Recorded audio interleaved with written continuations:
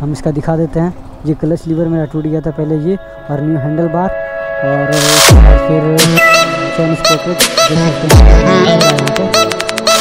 बाद hello friend तो कैसे आप सब? आई होप कि आप लोग अच्छे हैं। तो वेलकम टू द व्लॉग आज हम लोग जा रहे हैं अपना ड्यूब थ्री नाइन्टी में कुछ काम कराने के लिए।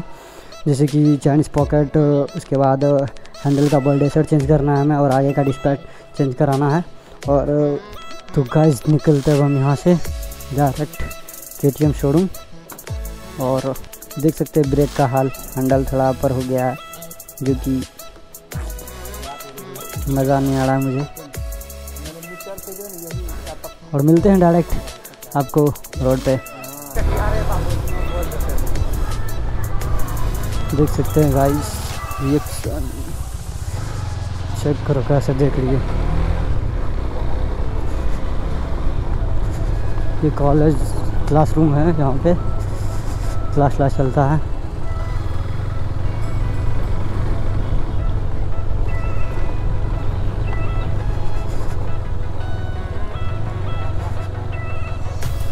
जाके हम अभी शोरूम में करवाएँगे, जो कि चेंज पॉकेट भी मुझे चेंज करवाना है।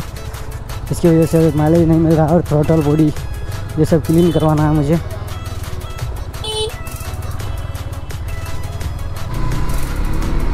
आगे पुलिस है, इसी वजह से हम ज़्यादा स्पीड चला भी नहीं सकते नॉर्मली ही चलाना है। ज़्यादा स्पीड चलाएँगे तो फिर दिक्कत हो जाएगा।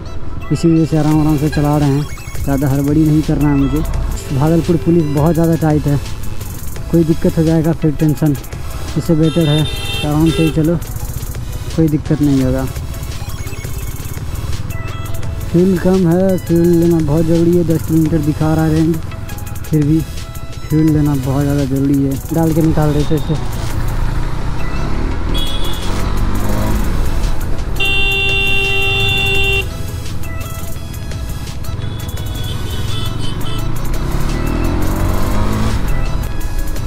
और हम के टी एम शोरूम आ चुके हैं। आगे ये के टी एम शोरूम आगे आगे और यहाँ से थोड़ा आगे है सरदारपुर। सेवन एच पी ओहो दिख गया के टी एम एंड है स्क्वेयर ना लगाते हैं डायरेक्ट अंदर तो दिखाते हैं क्या प्रॉब्लम आ रही है ओहो भाई साहब ये आ चुके हम क्या हुआ ऑफ़ ऑफ़ करना पड़ेगा ठीक है थैंक यू तो फाइनली भैया बोल रहे कि कैमरा ऑफ़ कर लो। कोई दिक्कत नहीं कैमरा अलाउड नहीं है ना? ठीक है ऑफ़ कर लेते भैया।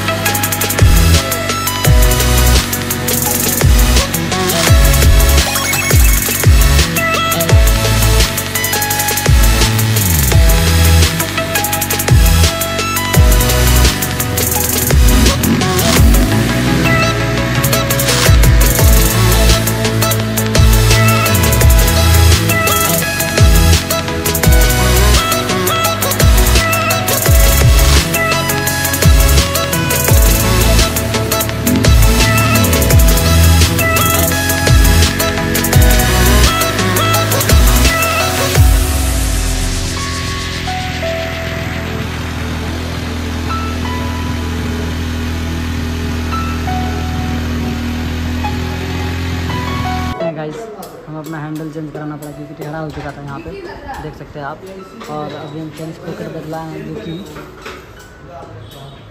इक्कीस सौ अड़तीस रुपये का पड़ा। और हैंडल बार का हमें, और हैंडल बार का हमें बारह सौ उनचास रुपये पड़ा। और ब्रेक लीवर का मुझे उन्नीस सौ छियालीस रुपया पड़ा है। कम हो रहा है। और ब्रेक पैड हम अपना लाए थे तो वो चेंज हो रहा है। तो फाइनली गाइज़ मेरा हो गया है सर्विस पूरा। तो बिल मैं रूम पे जाके बताऊँगा कितना का बिल हुआ, नहीं हुआ। तो क्या क्या हमने चेंज कराया है, हम इसका दिखा देते हैं। ये क्लच लीवर मेरा टूट गया था पहले ये और न्यू हैंडल बार और उसके बाद फिर चैन स्पॉकेट देख सकते हैं, नया जो लग चुका है यहाँ पर और इसके बाद फिर और कोई चीज़ चेंजिंग नहीं हुआ है मेरी गाड़ी में। बस इसी का इतना मुझे पड़ा है। और ये फ़िल्टर चेंज किए हैं, ज़्यादा कुछ नहीं चेंज किए हैं। आपको बिल कॉस्ट हम बता देंगे कितना पड़ा मुझे। और बने रहिए और यहाँ का जो के टी शोरूम भाई, बहुत बढ़िया है। सूरज ऑटो मोबाइल्स अच्छा सर्विस भी प्रोवाइड किए और बिहेवियर भी बढ़िया था। जिसको भी परचेज़ करना है, भागलपुर से आके परचेज़ कर सकते हैं। और अदरवाइज़ तो मुझे, मेरा बाइक अभी धनु बड़ा ख़तरनाक चल रही है। गाइस क्या मैं बताऊँ? और फ्यूल कम है, इसी वजह से आराम आराम से चल रहे हैं। जैसे फ्यूल अप हो जाएगा, फिर उसके बाद भगाना शुरू। ऐसे भी थोड़ा सा ट्राई कर लेते हैं गाड़ी। चेन पॉकेट के बाद कैसा परफॉर्मेंस है इसका? परफॉर्मेंस तो काफ़ी बेटर हो चुका है। न्यूज़ पॉकेट डलवाने के बाद। और ऐसे, अब तो और भी बाइक मेरा भागेगा।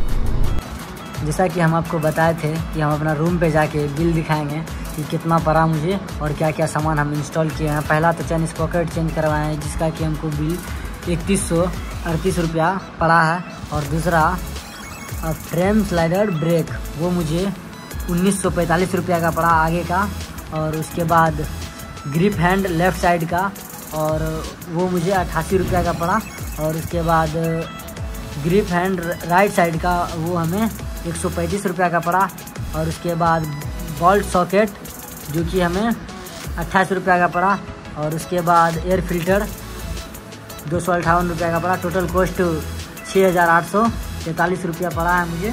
और जिसमें कि चार्ज लेबर चार्ज सात सौ उनचालीस रुपया लिया है। और हम अपना ब्लॉग आज यहीं पे ख़त्म करते हैं। तो वीडियो पूरा देखिएगा और एक प्यारा सा लाइक कमेंट शेयर सब्सक्राइब ज़रूर कर दीजिएगा। उम्मीद है कि वीडियो आपको पसंद आया होगा। मिलते हैं नेक्स्ट ब्लॉग में।